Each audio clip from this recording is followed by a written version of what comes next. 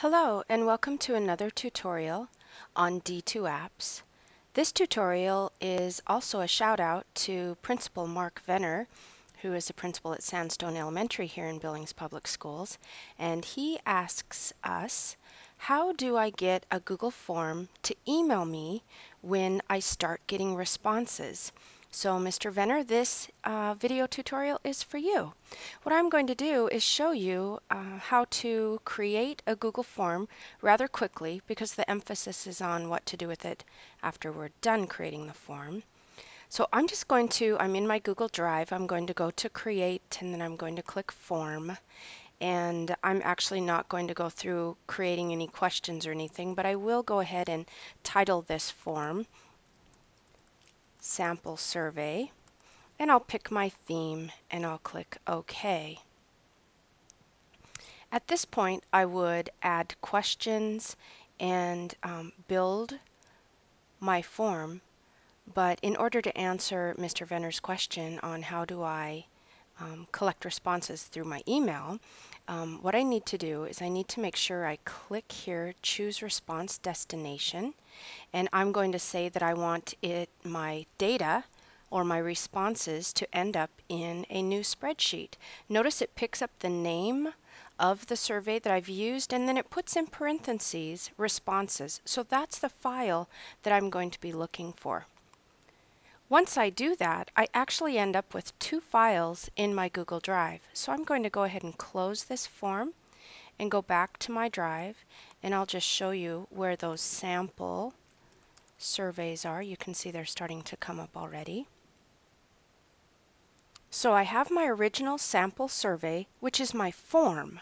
That's what I use to create my survey or my input information, but then I have my sample survey responses, and that's where all of my data is going to come from. So in order to get this data emailed to me, I need to open the responses file. Once the responses file is open, I can simply go to Tools, and you're going to see down towards the bottom, oops, excuse me, I'm sorry, Tools, you're going to see down towards the bottom, Notification Rules. I will click on that. And when I click on that, you're going to see that I have several different choices here. Notify me at, and then of course it gives the email address, and then I choose what my parameters are. So for example, if any changes are made, this means whether I get responses or whether I have a co-editor and the co-editor makes changes. I can also say if anything on this sheet has changed. So what that means is if I had multiple pages in this document and something were to change.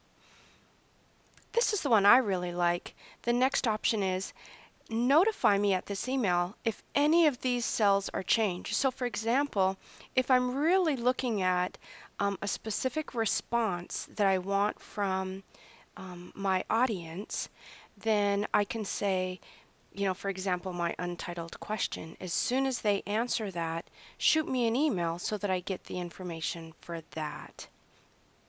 So you can actually go through this window and see what some of the parameters are. Um, one thing I might point out is notice that there is a digest. So what you could do is at the end of the day receive an email that shows all the responses. I think this is an excellent option for teachers that are collecting data um, from your students on a project. You don't have to have a ton of email coming in as all 25 or 30 of your students are responding. You could get the information to you in an email at the end of the day. Um, and then also you can say email me right away, which means you are going to get multiple emails.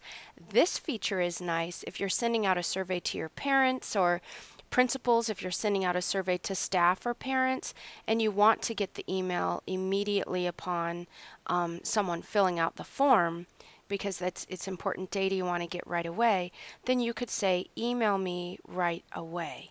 So you want to make sure you choose one of these, either a daily digest or perhaps emailing you right away. Once you've got your um, notification set, so set your notification rules, you can then click save. So I actually am going to deselect this guy and I'm going to say any changes are made and then I'll click save excuse me and then it shows me my notification rule. So what I've said is send me an email at that email address. If any changes are made, then send me an email. Notice you can come in, so I'm going to go ahead and say done. I'm going to go back up to my Tools menu to Notification Rules. That's how I got it started in the first place. And it shows you the rule that you created. You could edit that rule or delete that rule at any time. Or you can actually narrow down your rules and add more qualifiers to it.